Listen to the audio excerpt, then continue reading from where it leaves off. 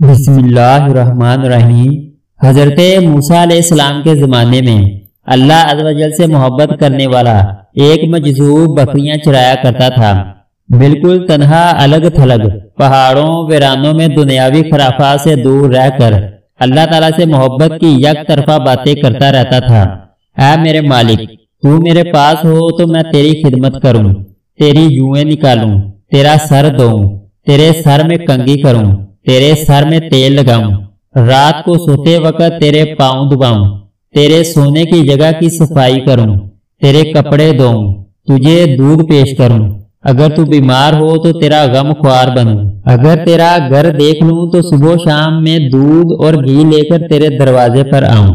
ऐ मेरे सोने अल्लाह, बकरियों को इधर उधर फिराने का तो महज बहाना है। मैं तो तेरी तलाश, तेरी मोहब्बत में मारा मारा फिरता रहता हूँ। वो सादा मजाज चरवाहा। इसी तरह जो मुँह में आया बोलता चला जा रहा था। हज़रत मूसा सलाम का इसके करीब से गुजर हुआ। हज़रत मूसा सलाम ने जब इसकी ये बातें सुनी तो आपने इससे पूछा, तू किससे मुखातब है? वो कहने लगा, इससे जिसने मुझे और तुझे और इस सारी कायनात को बनाया। हज़रत मूसा सलाम ने फरमाया, ओ अकल से पैदल चरवाहे, अल्लाह अजवजल को इन चीज़ों की मुहताजी कहा? है जाहिल। इस पाक जात को इन खिदमात की ज़रूरत नहीं। तेरे कुफर ने दीन के कीमती लिबास को गदड़ी बना दिया। ए बदबक खबरदार, आइंदा से ऐसी फजूल बातें मुँह से निकाली। अगर तूने अपनी ज़ुबान बंद ना की तो गैरत हक, आतश बनकर कायनात को जला डालेगी। इस मासूम चरवाहे ने जब मूसा सलाम की ये बातें सुनी तो बेहद शर्मिंदा हुआ। इसके ओसान फतह हो गए। खौफ से थर थर कांपने लगा। चेहरा जर्द पड़ गया। फिर बोला, आ खुदा के जलील कदर नबी, तूने ऐसी बात कही कि मेरा मुँह हमेशा के लिए बंद हो गया। ये कहते ही चरवाहे ने ठंडी आह भरी, अपना गिरबान तार तार कर दिया। दीवानों की तरह रोता हुआ जंगल की तरफ़ भाग गया।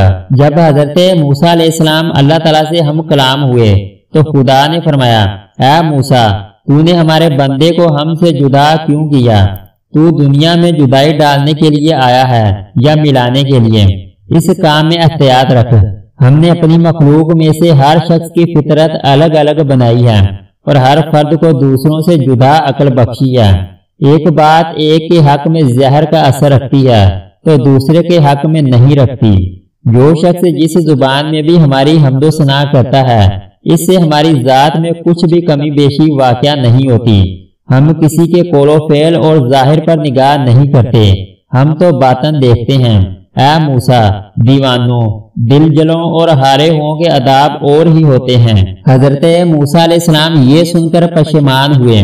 फिर इसी इजतराब और बेचैनी की हालत में इस चरवाहे को ढूँढने जंगलों, वीरानों में चले गए। सेहराव ब्या ब्या की खाक छान मारी। लेकिन इस दीवाने का कहीं पता ना चला।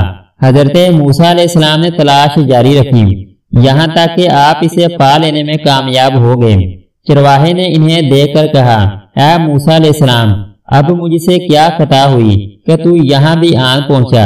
हज़रत मूसा सलाम ने फरमाया, ऐ खुदा के बंदे तुझे मुबारक हो। तुझे किसी अदबो अदाब और कायदे जबते की ज़रूरत नहीं। तू असल दीन पर है।